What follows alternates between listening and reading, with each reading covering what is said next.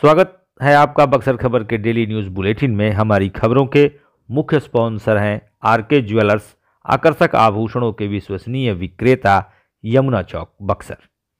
लगन साड़ी एवं Pankaj tailors ambassador hotel के सामने दुल्हा दुल्हन के लिए विशेष परिधान उपलब्ध।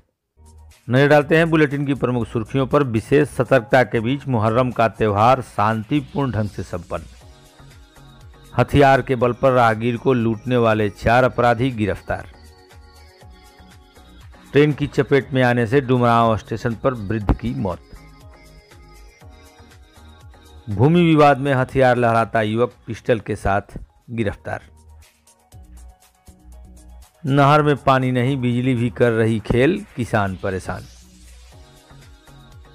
तनिष्क ने शुरू किया festival of diamond season offer. Simri police ने मोस्ट वांटेड की सूची में शामिल रविंद्र कुंवर को दबोचा। ज़िले में उन्नीस से इक्कीस तक होगी तीसरे चरण की शिक्षक भर्ती परीक्षा। खबरें विस्तार से के नए जमाने की मज़बूत सरिया। जिंदल पैंथर सीमेंट एवं सरिया के मुख्य विक्रेता गंगा सागर बिल्डिंग मटेरियल गोलंबर बक्सर एवं सिमरी। संपर्क करें नीचे दिए गए इन नंबरों पर। अब खबरों की चर्चा विस्तार से। पिछले दिन 17 जुलाई को अपने ज़िले में मुहर्रम का त्यौहार मनाया गया। हालाँकि इसकी झांकियाँ 16 जुलाई की शाम ही निकाली गई थी। यह क्रम 17 को भी चला।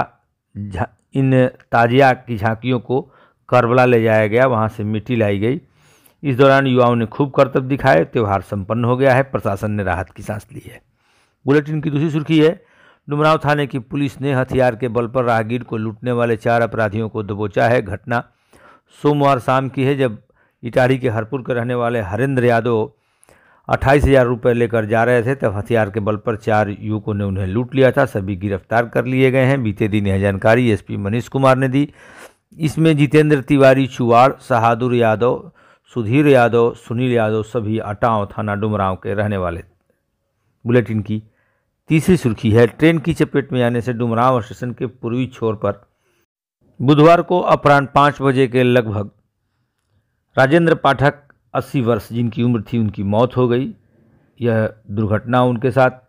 क्यों और कैसे हुई यह तो स्पष्ट नहीं हो सका है, लेकिन सूचना के अनुसार वे डुमराव टेक्सटाइल कॉलोनी में रहते थे। बुलेटिन की चौथी सुर्खी है, मुरार थाना के वैदा गाँव के समीप भूमि विवाद से जुड़े एक मामले में हस्तक्षेप करने पहुँचा, सिमरी थाना के डुमरी गाँव का मुन्ना कमकर गिरफ़्तार किया गया। बीते दिन बुधवार को पत्रकार वार्ता के दौरान एसपी मनीष कुमार और डुमरांव के एसडीपीओ आफाक ने इसकी जानकारी दी। हालाँकि ये पदाधिकारी डुमरांव की लूट में गिरफ़्तार चार की जानकारी देने के लिए एकत्र हुए थे। इसी दौरान यह भी पता चला, मुन्ना के पास से एक लोडेड पिस्टल बरामद हुई है। बुलेटिन की पांचवी सुर्खी है नहरों में पानी नहीं पहुँचा है और बिजली भी खेल कर रही है। कृषि फीडर में आठ घंटे बिजली आपूर्ति के सरकारी दावे पूरी तरह खोखले साबित हो रहे हैं। इस वजह से किसान परेशान हैं। राजपुर के कई इलाकों से इस तरह की खबर आ रही है।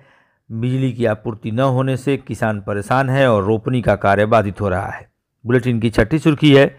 तनिष्क ने 18 से 22 जुलाई तक डायमंड फेस्टिवल सीज़न ऑफ़र की शुरुआत की है। इसके लिए प्रचार प्रसार भी हो रहा है और कंपनी ने नए तथा पुराने ग्राहकों के लिए दो तरह की स्कीम लॉन्च की है। पुराने ग्राहकों को नए से ज़्यादा छूट मिल रही है। कुल मिलाकर आप 20 परसेंट या उससे अधिक की छूट पा सकते हैं। बुलेटिन की सातवीं सुर्खी है। सिमरी थाने की पुलिस ने मोस्ट वांटेड की सूची में शामिल रविंद्र कुंवर को बीते दिन सिमरी के डुमरी गाँव से गिरफ़्तार किया। यह 20 सालों से फरार चल रहे थे। बुलेटिन की आठवीं सुर्खी है।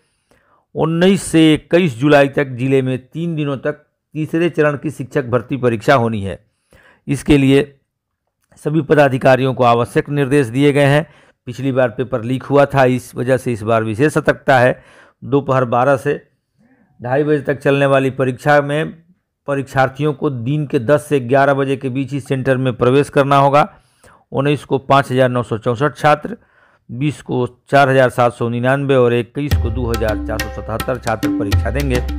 अब चलते चलते आपके लिए एक छोटी सूचना। प्रत्येक रविवार को बक्सर खबर दिव्य दर्शन नाम से साप्ताहिक एपिसोड प्रस्तुत करता है, जिसमें आप देश के विभिन्न मंदिरों का दर्शन लाभ प्राप्त कर सकते हैं। आज के बुलेटिन में बस इतना ही। आप देख रहे हैं बक्सर खबर। हमारे साथ अंत तक बने रहने के लिए आप सभी को धन्यवाद।